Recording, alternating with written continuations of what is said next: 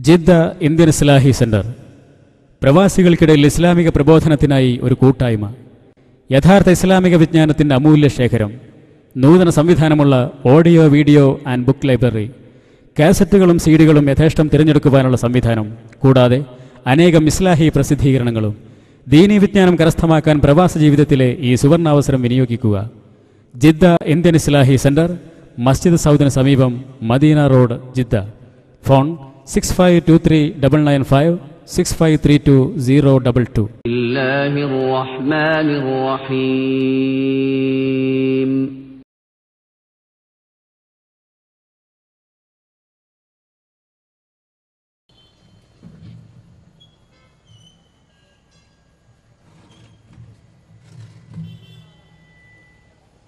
السلام عليكم ورحمة الله وبركاته إن الحمد لله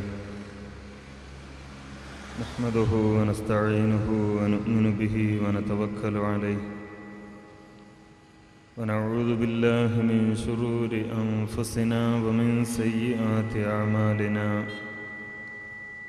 من يهده الله فلا مضل له ومن يضلل فلا هادي له وأشهد أن لا إله إلا الله وحده لا شريك له وأشهد أن محمدا عبده ورسوله. أرسله بالهدى ودين الحق ليظهره على الدين كله ولو كره المشركون.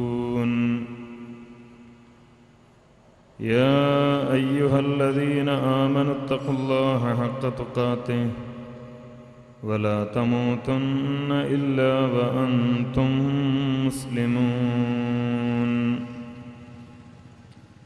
يا أيها الناس اتقوا ربكم الذي خلقكم من نفس واحدة وخلق منها زوجها وبث منهما رجالا كثيرا ونساء.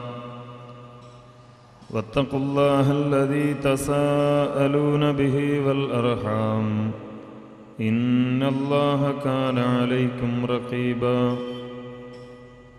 يا أيها الذين آمنوا اتقوا الله وقولوا قولا سديدا. يصلح لكم أعمالكم ويغفر لكم ذنوبكم. ومن يطع الله ورسوله فقد فاز فوزا عظيما أما بعد فإن خير الكلام كلام الله وخير السنن سنن محمد صلى الله عليه وسلم. وشر الأمور محدثاتها وكل محدثة بدعة وكل بدعة ضلالة. أعوذ بالله من الشيطان الرجيم. بسم الله الرحمن الرحيم. والذين يمسكون بالكتاب وأقاموا الصلاة إنا لا نضيع أجر المصلحين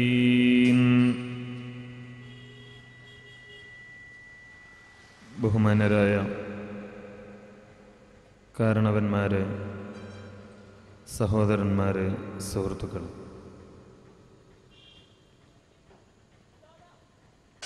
അള്ളാഹുവിൻ്റെ അപാരമായ അനുഗ്രഹത്താൽ സത്യവും അസത്യവും വേർതിരിച്ച് മനസ്സിലാക്കുവാനുള്ള ഒരവസരം നമുക്ക് സംജാതമായിരിക്കുകയാണ്. പരലോകരക്ഷയ്ക്കു വേണ്ടി അള്ളാഹു സുബാനഹുവത്തായ അവന്റെ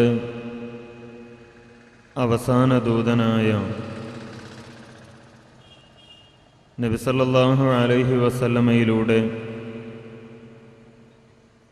നമുക്ക് പഠിപ്പിച്ചു തന്ന യഥാർത്ഥ ദീനിന്റെ അടിസ്ഥാന വിശ്വാസവുമായി ബന്ധപ്പെട്ടുകൊണ്ട് ചില കാര്യങ്ങൾ ഏതാനും ദിവസങ്ങൾക്ക് മുമ്പ് നാം ഇവിടെ സംസാരിക്കുകയുണ്ടായി.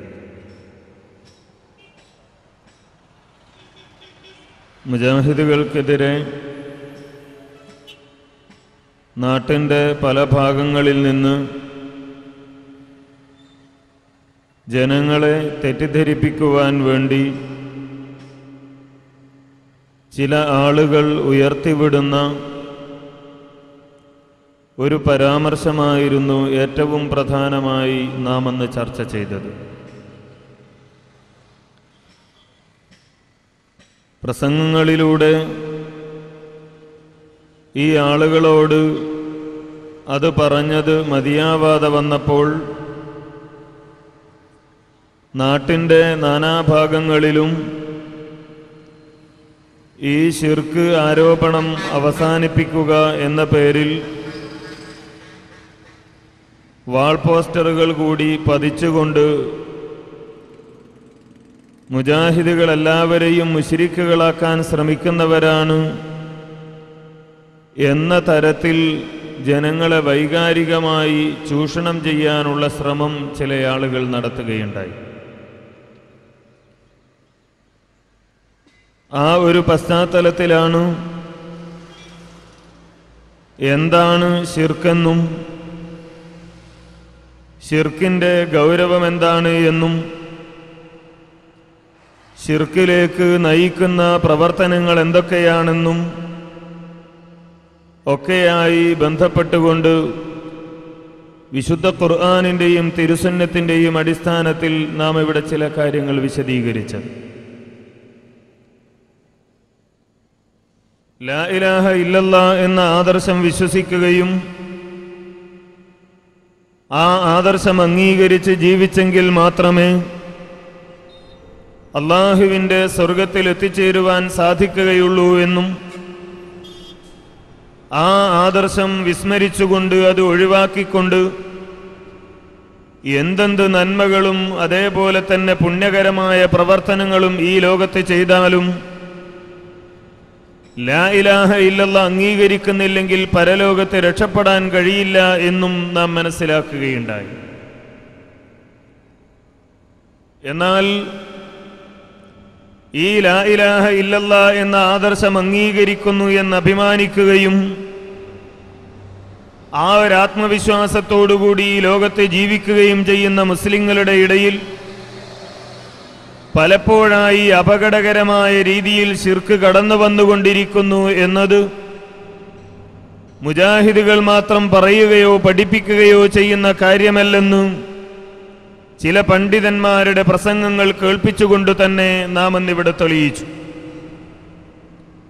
അതോടൊപ്പം തന്നെ ഈ ശിർക്കിലേക്ക് ആളുകളെ നയിക്കുവാൻ വേണ്ടി ചില പണ്ഡിതന്മാർ നടത്തിക്കൊണ്ടിരിക്കുന്ന ദുർന്യായങ്ങളും ദുർവ്യാഖ്യാനങ്ങളും വിശുദ്ധ ഖുർആാനിലെ ആയത്തുകളും നബിസല്ലാഹു അലൈഹി വസല്ലമയുടെ വചനങ്ങളും ദുർവ്യാഖ്യാനം ചെയ്യുകയും തെറ്റിദ്ധരിപ്പിക്കുകയും ചെയ്യുന്നതും നേർക്കുനേരെ നമ്മൾ കേൾക്കുകയും എന്താണ് അതിന്റെ യഥാർത്ഥമായ സത്യമായ അവസ്ഥ എന്ന് പ്രമാണങ്ങളിലൂടെ നാം തിരിച്ചറിയുകയും ചെയ്തു.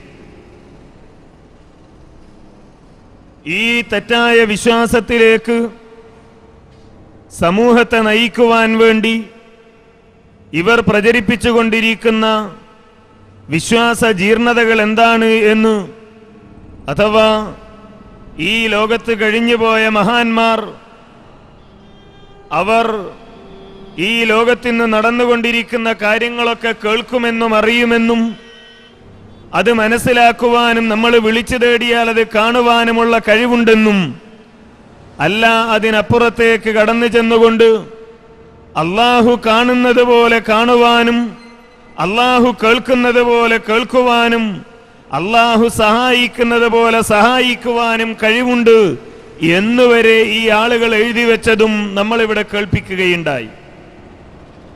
പറഞ്ഞു പറഞ്ഞ് അവസാനം പ്രാർത്ഥന അള്ളാഹുവോട് മാത്രം എന്ന് പറയുന്നത് ആ ആദർശം പ്രചരിപ്പിക്കുന്നത് ഇബിലീസിന്റെ പ്രമേയമാണ് അത് ഇബിലീസിന്റെ ആദർശമാണ് എന്നുവരെ തങ്ങളുടെ പുസ്തകത്തിൽ എഴുതി വെച്ചതും ഞാനിവിടെ സൂചിപ്പിച്ചു. എന്തിനു വേണ്ടി ഈ സൂചിപ്പിച്ച കാര്യങ്ങൾ ഓർമ്മിപ്പിച്ചു എന്ന് ചോദിച്ചാൽ ഇതിനൊക്കെയുള്ള മറുപടി എന്ന പേരിൽ അഹ്ലുസുന്നാവൽ ജമാഅയുടെ ആദർശത്തെ കളങ്കപ്പെടുത്താൻ വേണ്ടി മുജാഹിദുകൾ സംഘടിപ്പിച്ച പരിപാടിക്ക് മറുപടി വിശദീകരണം എന്ന പേരിൽ ഇവിടെ ഒരു മുസ്ലിയാര് നടത്തിയ പ്രസംഗത്തിൽ ഈ പറഞ്ഞ കാര്യങ്ങളിൽ എന്തൊക്കെ കാര്യങ്ങൾക്ക് മറുപടി ഉണ്ടായി എന്ന് അത് കേട്ടയാളുകളൊന്ന് ആലോചിക്കുവാൻ വേണ്ടിയാണ്. ഈ സമൂഹത്തിൽ ശിർക്ക് കടന്നു വരുന്നു എന്ന് നമ്മൾ പറഞ്ഞു. അങ്ങനെ ശിർക്ക് വരില്ല എന്ന് പറയാൻ ഇവിടെ പ്രസംഗിച്ച മുസ്ലിയാർക്ക് കഴിഞ്ഞിട്ടുണ്ടോ? ഈ സമുദായത്തിലേക്ക് ശിർക്ക് കടന്നു വരുമെന്ന് നബിസല്ലാഹു അലൈഹി വസല്ലമ പറയുകയും പഠിപ്പിക്കുകയും ചെയ്തത്